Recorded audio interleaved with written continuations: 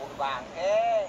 ông đi ông phải tranh xếp từng mét, hàng vào tranh nhau từng mét đường vậy không phải nhưng đồng chí đi phải xếp hàng vào ý thức giao thông không có đi cái chen ngang thế ai cũng như đồng chí thì ai đi được mà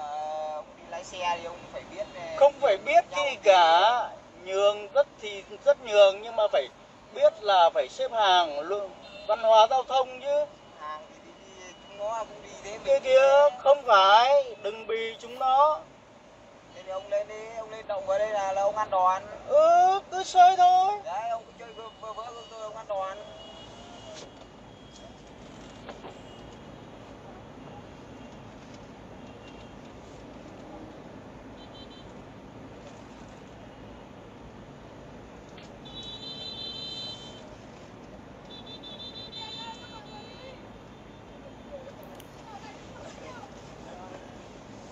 trên chen ngang vào